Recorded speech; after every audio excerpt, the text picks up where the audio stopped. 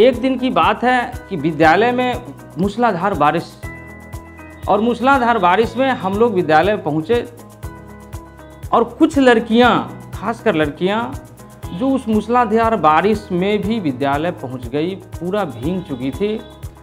अचानक मेरे मुँह से एक डांट, उसके लिए डांट निकल पड़ा कि क्यों भींग कर विद्यालय आ गई हो? ज़रूरी नहीं था ना। लेकिन इसके बाद मैं सोचने पर मजबूर हुआ कि आखिर वह बच्ची विद्यालय आई तो इस मूसलाधार बारिश में।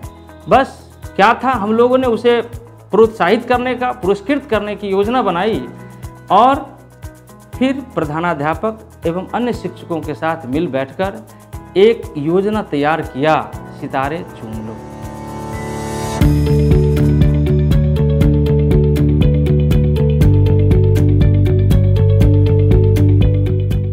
बारह माह का वर्ष, जिसे चार चार माह के तीन लघु सत्रों में बांटा।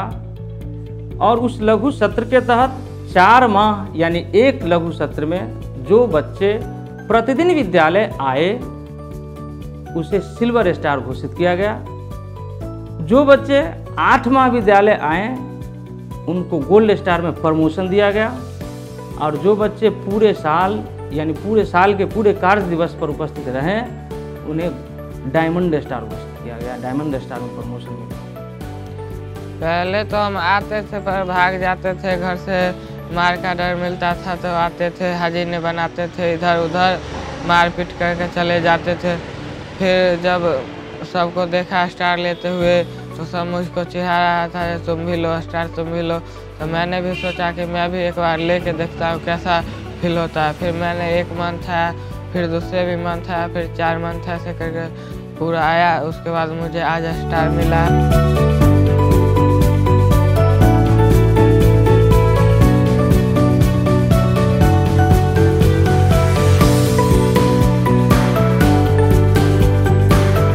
हमारे घर के आसपास के सभी आते थे स्कूल, और घर पर जाके बोलते थे जो ऐसे ऐसे स्कूल में बहुत सारा सुधार है, और ऐसे बैच भी लगा के आते थे सब और स्टार भी देखे थे, लगा के आने के आ रही थी। तो हम भी सोचे कि हम भी स्कूल जाएँगे तो हमें भी कुछ फ़ायदा होगा, इसलिए हम भी स्कूल आना शुरू किया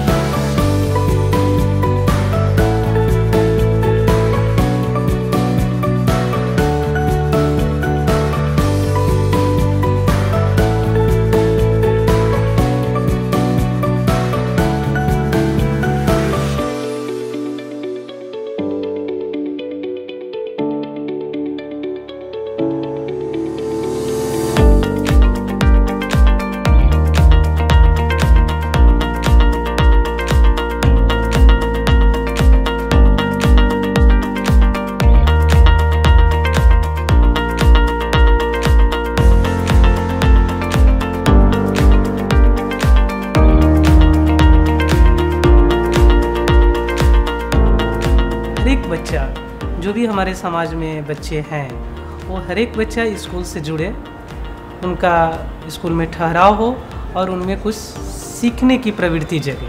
बच्चे का हम स्कूल में इंगेज करने की कोशिश करते हैं, उनको हर एक एक्टिविटी में शामिल करना चाहते हैं कि जिससे कि बच्चों में एक जिज्ञासा हो कि हम भी ये काम कर सकते हैं, हमको भी इस काम में मज़ा आए। उसके लिए हमारा प्रयास होता है, जिससे कि उनकी हम एकेडमिक तो उनका इंक्रीज होता ही है एकेडमिक परफॉर्मेंस साथ साथ उनकी जो अदर एक्टिविटी है तो उसमें भी उनकी लर्निंग लेवल बढ़ती है।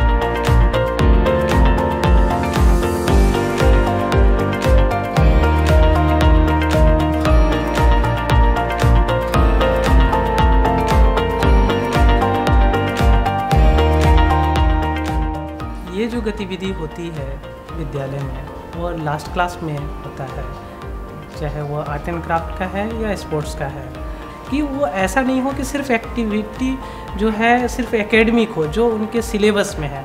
हम उनके अलावा भी बच्चों को सीखने के लिए एक प्रयास करते हैं कि बच्चा जो है वो सीखे। तो सबसे पहले तो हम ग्रुप में बांट देते हैं बच्चों को, उसके बाद उसको कार्डबोर्ड देते हैं, हर बच्चों को। और फिर कोई ग्रुप एक नया नया थीम देते हैं जो पंद्रह दिन पे बदल जाती है। कोई ग्रुप उस पर कहानी लिखता है, कोई कविता लिखता है, कोई चित्र बनाता है, वो थीम से रिलेटेड और फिर उसमें रंग भर के गतिविधि बोर्ड पे लगा देता है।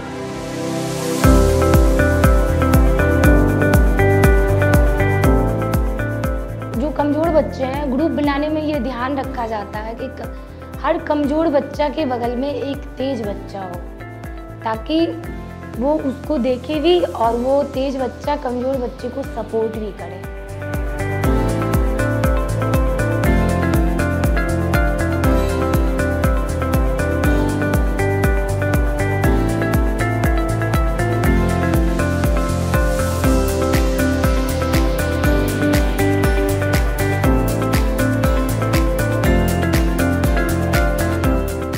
मेरे स्कूल का जो चल रहा था, वो आप कह सकते हैं कि 41 परसेंट जा रहा था। यानी 40.92 परसेंट आ रहा है तो 41 परसेंट इसको रफली हम ले लेते हैं। इस कार्यक्रम के बाद, ये 16-17 में 51.6 परसेंट हो रहा है। और अभी जो हमारा सेशन समाप्त हुआ है 17-18 का, इसमें हम 65 परसेंट के से थोड़ा सा ज़्यादा sixty five point two four yes exactly तो इस पर हम यहाँ तक पहुँचे। तो इसमें हम देख रहे हैं कि चालीस, इक्यावन, एक पैंसठ, इस सितारे चुमलों से हेल्प मिला है। जिस तरीके से आनंदशाला काम कर रही है स्कूल के साथ तो वहाँ पे मुख्य फोकस है कि बच्चे कैसे स्कूल से जुड़े और ठहरे और सीखे। इसको लेकर अगर आप उपस्थिति की बात कर रहे हैं तो निश्चित रूप से बच्चे का उपस्थिति बढ़ा है। बच्चे स्कूल अगर आप विद्यालय का देखेंगे तो आपको पता चलेगा कि बच्चे का ठहराव जो है, वो भी हुआ है और उनमें इम्प्रूवमेंट भी हुआ है। पहले था ये कि कुछ बच्चे विद्यालय नहीं आ पाते थे, लापरवाही रहती थी। कुछ बच्चे में ज़रूरत से ज़्यादा हेजिटेशन थी, हिचकिचाहट थी, जो एक दूसरे से या मेरे पास आने से हिचकते थे। लेकिन जब ग्रुप में काम करवाए, उनके साथ एकदम मित्रवत व्यवहार किया तो उनकी हिचक दूर हो गई। और एक दिन जो बच्चे विद्यालय नहीं आते हैं, कल होके उनके मन में उत्सुकता रहती है कि आज क्या हुआ। इसीलिए वो क्लास मिस करना नहीं चाहते हैं और प्रत्येक दिन विद्यालय आते हैं। जब बस बच्चे स्टार लगा कर आते हैं तो वाकई उनका आत्मविश्वास देखने लायक होता है। वे आत्मविश्वास से लबालब होते हैं। विद्यालय के हर एक्टिविटीज़ में वे इस प्रकार से काम करते हैं। मानो वो बोल रहे हो कि मैं स्टार हूँ और स्टार की तरह काम करते हैं। ये गोल्ड स्टार जोरदार ताली से स्वागत करते हैं। और भावना की शुभकामना कि वो अगले साल डायमंड बने।